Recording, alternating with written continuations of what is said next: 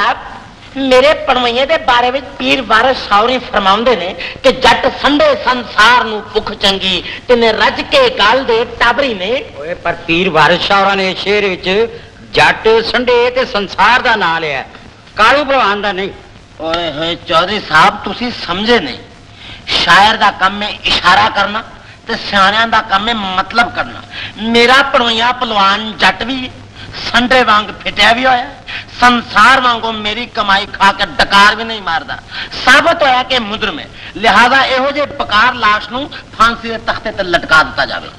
क्यों भी पहलवान चौधरी जी जानी कहता तो ठीक है। उच्चा बोल किसे हाथी दे पोतरे?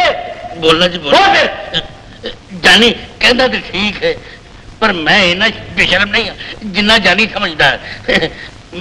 उंज मैं माल खादा ज़रूर लो चौधरी साहब मुलजम इकबाल जुर्म कर चुके लिहाजा इस जराइम पेशा पलवान उल्टा लटका के पहले का तेल कटिया जाए उस तो बाद